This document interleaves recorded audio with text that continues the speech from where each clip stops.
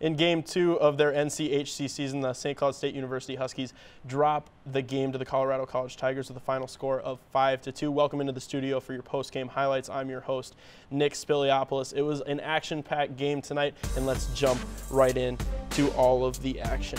Tigers creating chances early. Cristiano Versich, who had two goals in last night's game, gets the turnover from Luke Jaycox and Cristiano Versich fires one on David Hrenak, but Hrenak able to make the save with that right arm. Tigers again, Brian Yoon throws it on Hrenak, makes a save with his left pad. Wilkie gets the rebound and Hrenak makes a phenomenal save getting his right pad on it. Ahcan throws it over to Sam Hentges. Sam Hentges down to Nick Poehling, and Nick Poehling throws it across the slot and somehow finds the stick of Spencer Meier. Spencer Meier taps it on Matt Vernon, but Vernon makes the save. Nick Halloran skating the puck into the zone for the Tigers and scores after seeing David Hrenak kind of drop down. He goes backhand right over David Hrenak's shoulder. You can see again, Halloran has great control as he shakes Andre Treball, the defender, and goes beating Hrenak right side. In the second period, Alex Berardinelli and Brian Yoon get in front of David Hrenak and through some sticks, Andrew Goss gets the puck and goes right underneath the right pad of David Hrenak. You can see again, two bodies in front of Hrenak and Gross just gets it right underneath that pad of David Hrenak, unable to hit that pad on the ice. Huskies on a three minute power play, Nick Perbix puts it on net and Kevin Fitzgerald grabs the rebound, throws it back, and somehow the freshman Matt Vernon making an incredible save to keep the Huskies at zero. Ben Copeland in the corner finds freshman Brady Smith, and he goes top corner on the right side of the net to beat Hrenak to give the Tigers the, the 3 0 lead. Taking one more look at it, that would be Brady Smith's first career collegiate goal. Huskies on a power play opportunity of their own. Easton Brodzinski controlling a loose shot from Jami Krannila, and Easton fires a quick wrister and beats Matt Vernon on the right side. Pat Micheletti kind of said it was a broken play, but Easton does his job, throws it on net, and Vernon was unprepared to make the save.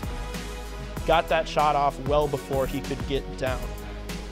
Tigers responding with a goal of their own. Christian Blumenschein to give the Tigers that three goal lead. One more look, Lamoureux kind of has a bunch of bodies in front of him, goes right under the glove of the freshman.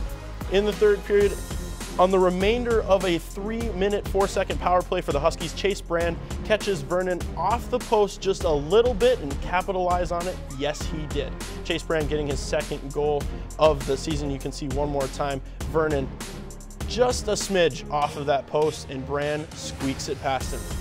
St. Cloud on the penalty kill, creating an opportunity and Jack Ahcan and Jack Poehling. Jack Ahcan with the wraparound, but Vernon hugged tight to the post this time and made the save.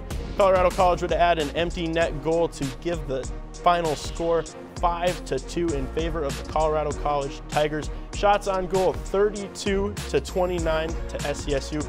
Both goaltenders made 27 saves.